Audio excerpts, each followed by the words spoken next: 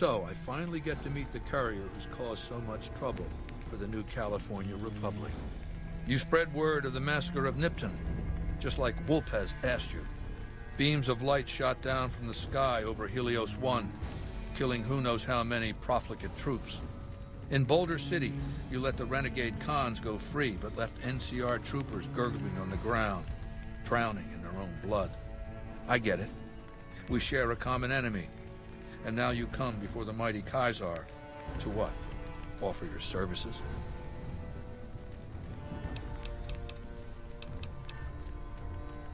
And you fell for that? Really?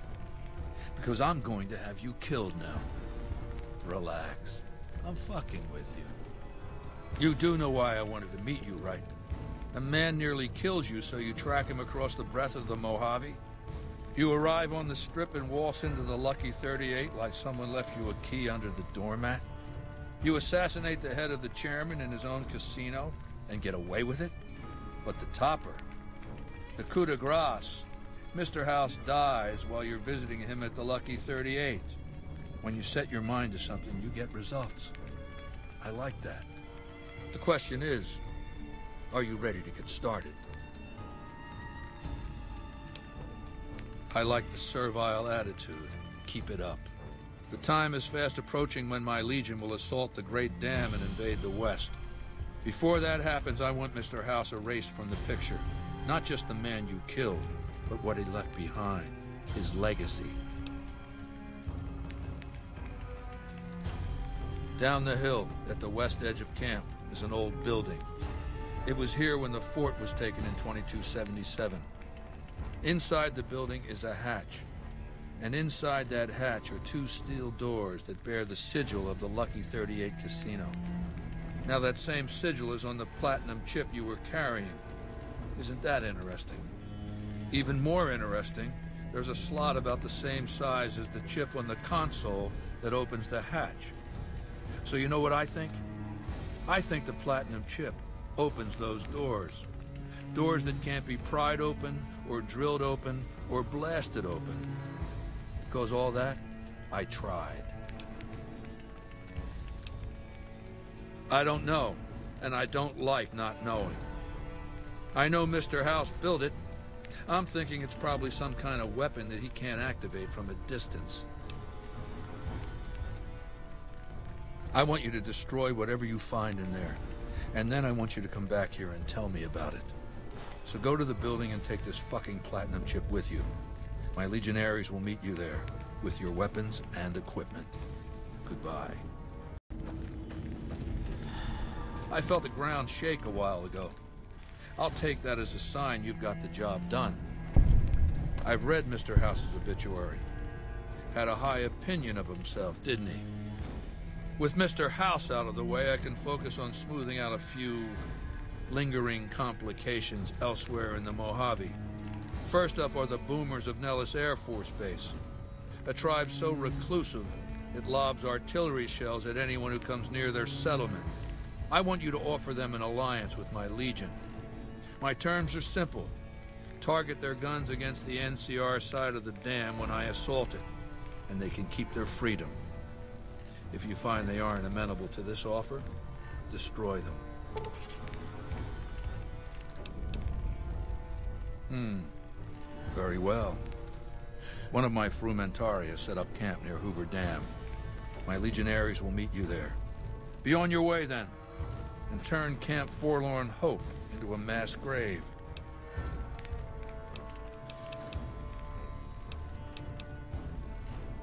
Yeah, I want NCR ranger stations out of the picture.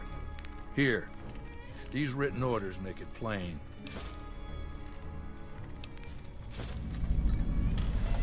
What did you want to know? The boomers settled at the old air base northeast of Vegas many years ago. No one knows exactly how long it's been. It may be that no one's traded with them or even spoken to them that entire time. If so, they're sitting on one hell of a stockpile of ammunition. My scouts have seen people moving around the base. The perimeter's guarded, with spotters and towers directing the artillery fire. They must have extraordinary vision. Some of my scouts were targeted at extreme distances. So no, I can't tell you what to expect inside the base. No one's been inside it, except them. What else did you want to know? My Praetorians embody the martial ideals of my legion. Each one of them has done enough conquering and killing to deserve the rank of Centurion. Instead, I invited them to join my guard. So the invitee chooses whichever current guard he thinks is weakest and challenges him. The fight is to the death. It keeps them from getting complacent. Lucius has been the head of my guard for five years now. He was a subordinate guard for eight before that. No invitee has dared to challenge him yet. Maybe it's an issue of respect. He is getting on in years. What else did you want to know? Vulpes is the best of my Frumentarii. A remarkable individual from an unremarkable tribe south of the Utah. He was brought into the Legion as a boy, survived training, fought well enough as a legionary to be promoted to the rank of decanus. Then in battle against an unimportant tribe, he broke ranks and led his contubernium through a hole in their defenses to capture its chieftain. Well, his Centurion wanted him crucified for disobedience, so I made him a frumentari. Whatever I require, infiltration, assassination, dramatic atrocities to break the spirit of the enemy, etc. They're mentally flexible. They operate behind enemy lines for extended periods, imitating the enemy's customs without becoming sullied. In all these things, Vulpes is a master. What else did you want to know? Lanius is the greatest of my battlefield commanders. Some might call him a great man, but I'm not sure he qualifies. Once, he was the greatest warrior of the Hydebarks, a tribe of the Arizona. Maniacal in battle. Sometimes he'd ambush Legion patrols by himself. When after several months we found and surrounded the Hydebarks camp, their chieftain raised a banner of surrender. The warrior, who was not yet Lanius, went insane with rage. He struck down his chieftain and attacked his own tribe. He killed 15 before they brought him down. He didn't die, obviously. I had him tended to. He was maimed, most of his face torn off. It was days before he regained consciousness. When he did, I went to his bedside and showed him the helmet I'd had forged to cover his face. I said he could have it if he'd fight for me. He accepted, on condition that he be allowed to kill the surviving males of his tribe. I said, make it the adult males, and you have a deal. Lanius is savage. Savagely loyal, too, but only to me. He has no love for my legion. But this has its uses. He has no attachment to his men, no compunction about battlefield losses. All he cares about is destroying the enemy. When another legatus or a centurion fails to achieve results, I send Lanius to make things right. His first step is to beat the failed commander to death in front of his assembled troops. Then he orders the ritual of decimatio. It means decimation, but in ancient Rome the word had a very specific meaning, a punishment for cowardice. The legionaries are lined up in ranks. Every tenth man steps forward and is beaten to death by his brothers. It instills a certain robust obedience. Yes, this time my legionaries will be more frightened of the commander behind them than the enemy before them. There will be no failure this time, no retreat, no years of gathering slaves and resources for another assault. With Lanius to drive the legion forward, the dam will be taken. It will be our bridgehead across the Colorado. It's not going to happen again. That's all I have to say about it. And I've heard it's a bad idea to tempt the wrath of Caesar. Change the subject. What else did you want to know? Do you want my opinion as a former citizen or future conqueror? Actually, my opinion's the same either way. As a young man, I was taught to venerate President Tandy of Shady Sands, the founding mother of the new California Republic. Did you know her presidency lasted 52 years? And that her father, Aradesh, was the Republic's first president? Does that sound like a democracy to you? Or a hereditary dictatorship? Because the council didn't dare oppose her. She was too popular. She had the people's love. So things ran smoothly, more or less. And as soon as she was gone, as soon as there really could be democracy, what happened then? Ever since losing its queen, the NCR has been weaker, more diffuse. Democracy has been its weakness, not its strength. Greed runs rampant. The government is corrupt, accepting bribes from Brahmin barons and landowners to the detriment of citizens. The NCR is a loose conglomerate of individuals looking out for themselves. It's lost virtue. No one cares about the collective, the greater good. It's not built to last. I'm just hastening the inevitable. Of course, the most powerful my legion has faced. Also the first to which I am ideologically opposed. Until now, every tribe I've conquered has been so backwards and stunted, enslavement has been a gift bestowed upon them. My conquest of the Mojave will be a glorious triumph, marking the transition of the Legion from a basically nomadic tribe to a genuine empire. Just as my namesake campaigned in Gaul before he crossed the Rubicon, so have I campaigned and will cross the Colorado. What else did you want to know? I know he's dead. I know he's no longer a factor. That's all I need to know. Losers don't matter in the history books. He's a fucking footnote. What else did you want to know? I've analyzed the region's tribe to determine how they might be useful. I may tell you more at a later time, if it suits me. What else did you want to know? Ironically, I was born a profligate myself, a citizen of the NCR. My family lived not far from the Great Boneyard. After raiders killed my father, my mother sought the followers' protection. I was two years old. She found work at their library, cooking and cleaning. I learned how to read, and soon I was taking courses, free of charge. Oh yes, raised in that tradition. And the teaching stuck.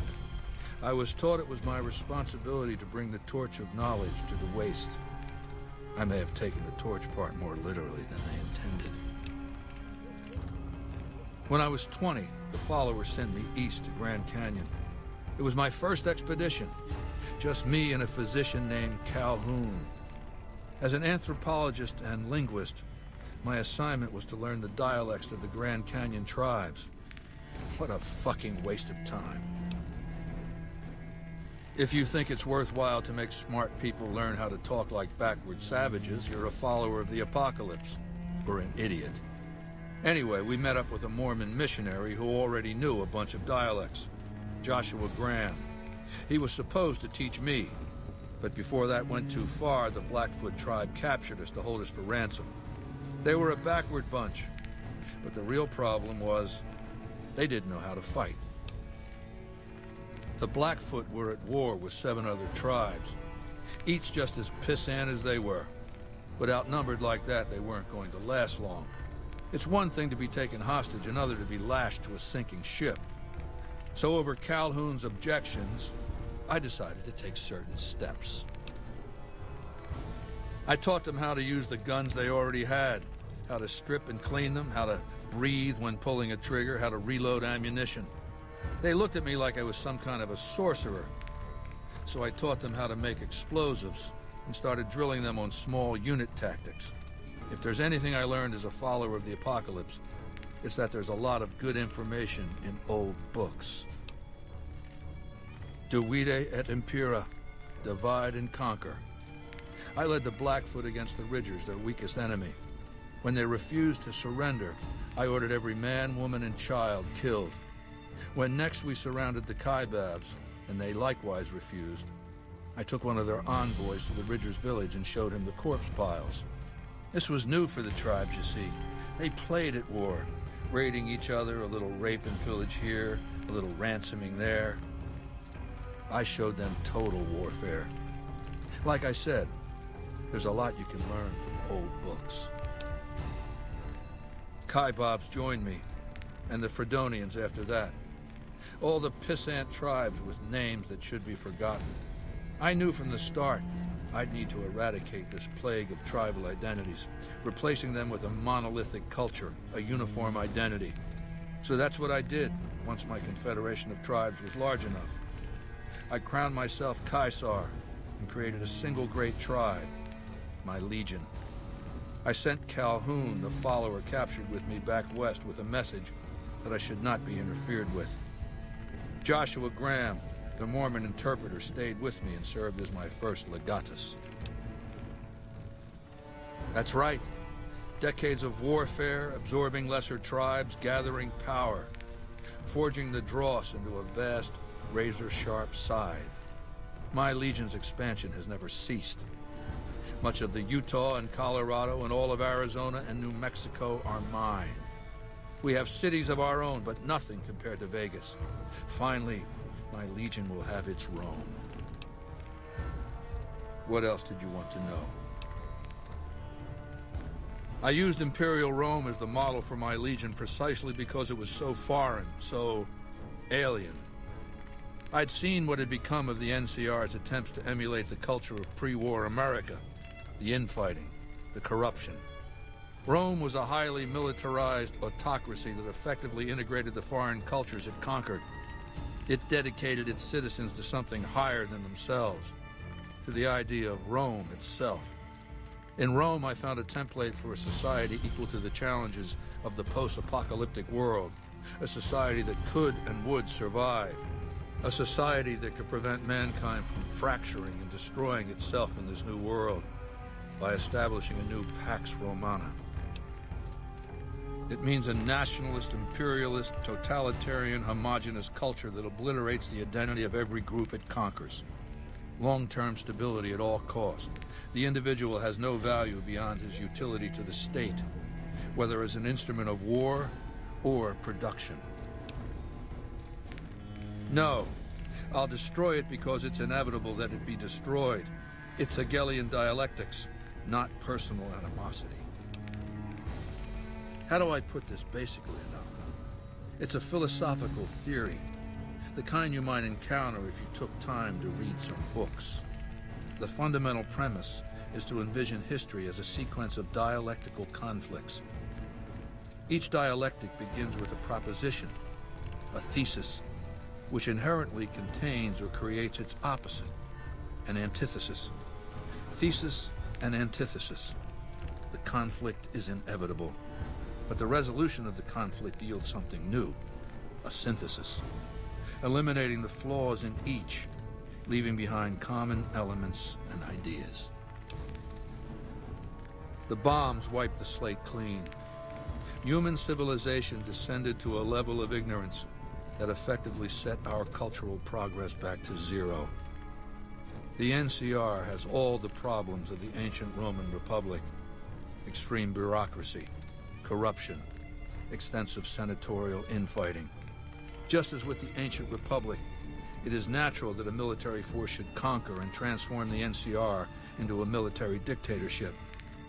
Thesis and antithesis. The Colorado River is my Rubicon. The NCR Council will be eradicated, but the new synthesis will change the Legion as well from a basically nomadic army to a standing military force that protects its citizens and the power of its dictator. What else did you want to know?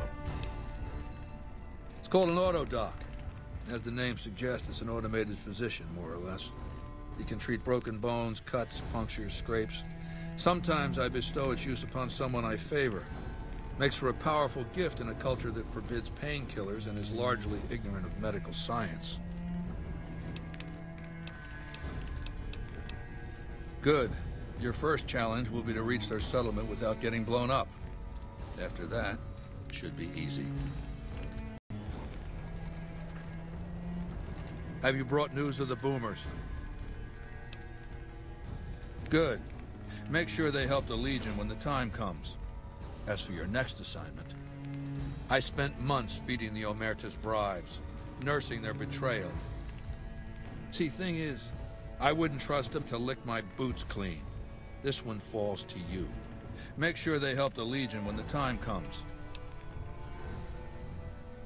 The worst impulses of mankind concentrated in one tribe.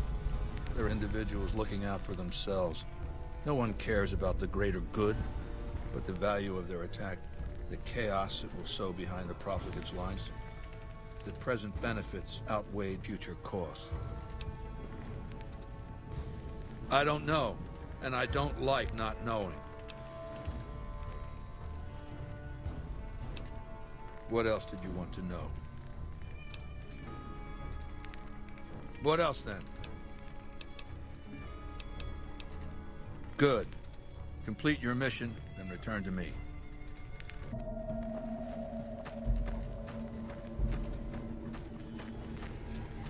I understand that you freed Silas before he could talk. I approve. Silas dishonored himself when he let himself be captured, and he'll pay the price for that. But the NCR didn't learn anything valuable. Very well. They will have to be dealt with eventually, but for the moment, they live to serve. Now, moving on. I want you to focus on smoothing out a complication elsewhere in the Mojave. Chief Hanlon, a nemesis of my Legion, he's in the way. It'll frighten them.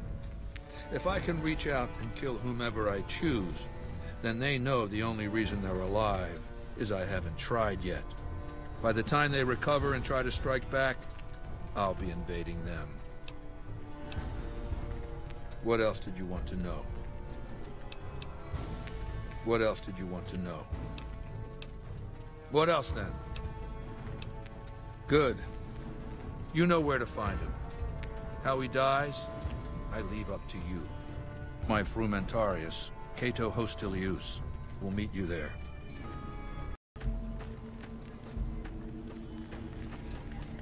Have you been successful in your efforts? He died the humiliating death he deserved. Right under their noses, too. You are good, aren't you? Now, moving on. I want you to forge an alliance between Caesar's Legion and the White Glove Society. They used to be cannibals. I expect that information can be used to manipulate them. Go to... Oh! oh God damn it!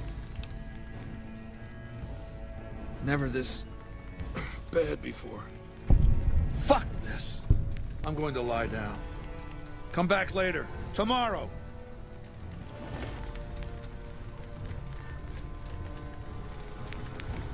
Hello. The last time we met, I believe we were talking about the White Glove Society.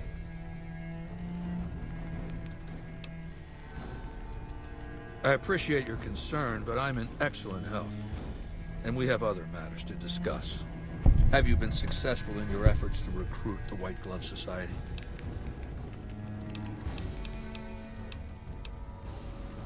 A number of NCR ranger stations have been wiped off the face of the Mojave, thanks to you. The profligates still hate me more than they hate you, I think. But I've been at this longer than you have. Keep it up. Come back when you know more about the White Glove Society.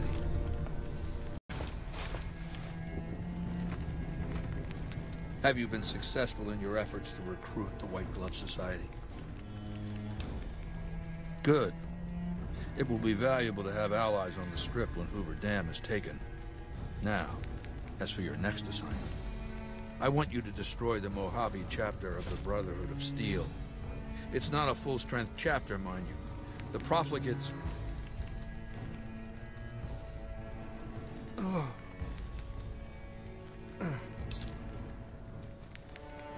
Hmm. Huh? Yeah. Yeah. Yeah. The Brotherhood. Them. I don't... I don't know. There ha have been a couple. Don't. Just leave it alone. I'm, I'm fine. Now, what was I saying? Right. Look for the Brotherhood's bunker around, uh, Hidden Valley. My, my scouts saw some things. I'm going to bed. We'll talk later.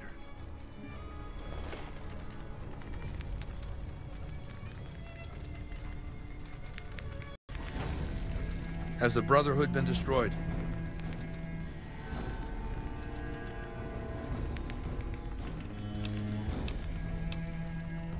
Even with the Brotherhood to deal with, you have questions?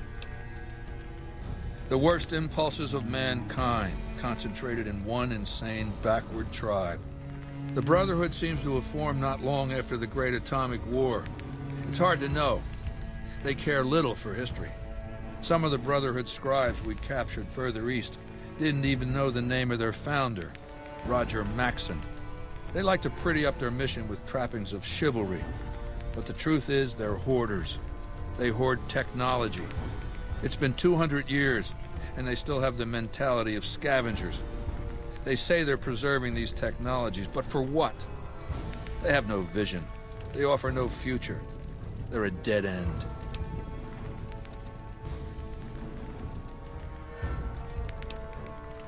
What else did you want to know?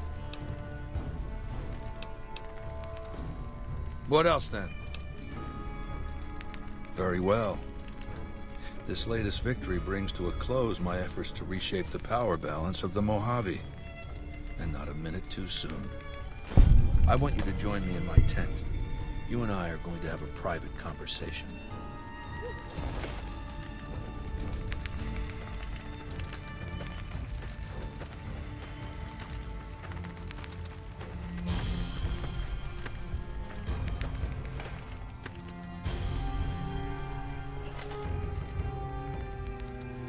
Let's state the obvious. There's something wrong with me. The headaches started a couple of months ago. They weren't too bad at first, but now they come frequently and they're debilitating. For the past two weeks, my left leg has been dragging. It's stiffer, hard to move. And you've seen me blank out. Lucius says I stare into space, blink a few times, then keep talking like nothing happened. So what's the diagnosis?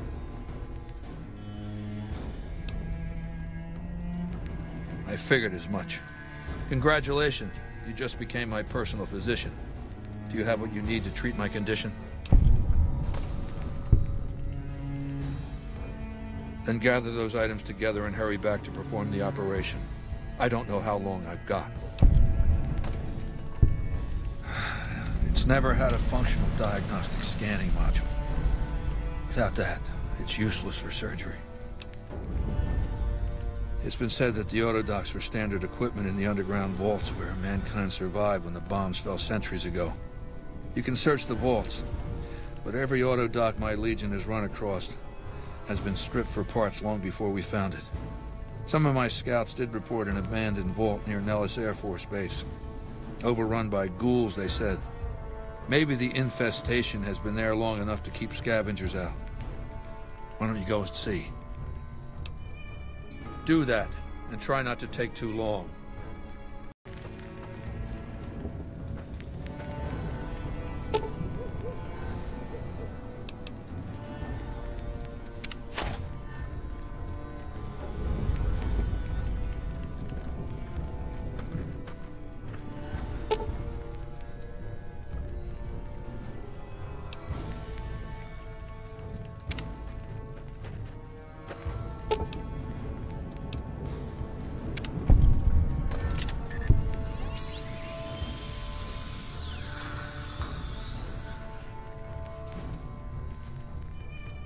Thank you for saving my life.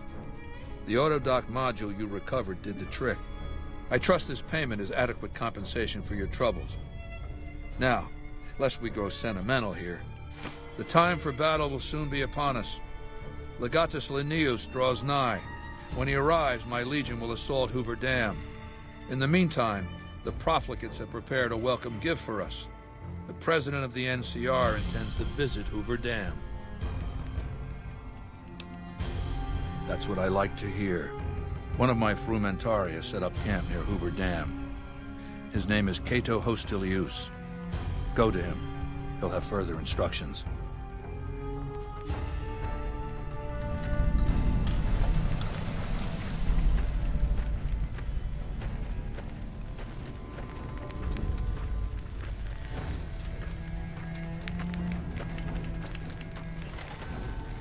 You know everything you need to know. Be on your way. Even with a president to kill, you have questions? A man of potential, held back by the craven political context he inhabits. You realize he was a general, the hero of the Mojave, they called him. A title he earned by extirpating lesser tribes that dared attack NCR citizens. His responses were swift and draconian. President Tandy, the founding mother, coddled hostile tribes. But her successors were less naive, so they gave Kimball free rein. And after a respectable military career, what does he do? Become a politician. But he did so by election. What better way to stunt the growth of leaders, not to mention whole cultures? A leader shouldn't have to kowtow to those who serve him. With so much energy wasted on those below, how is he ever to move forward? Had he taken the government by force, used his army to stage a coup, things would be very different. I'll just have to do it for him. It'll frighten them. If I can reach out and kill whomever I choose, then they know the only reason they're alive is I haven't tried yet. You have to understand that Kimball is a symbol. Without him, there would be no NCR occupation of the Mojave. He mustered the troops, as many as his Senate would allow, and sent them in. All the right reasons, done all the wrong ways. Any invasion by a democracy is a half measure. When Kimball dies, the NCR will recoil from the Mojave and from his legacy. By the time they recover and try to strike back, I'll be invading them. What else then? Complete your mission and return to me. You dispatched President Kimball with real skill. Right under their noses, too. What a humiliation. My forces are in a position to assault the dam. Legatus Lanius has assumed command. Are you ready to go to him? To tell him to begin the assault.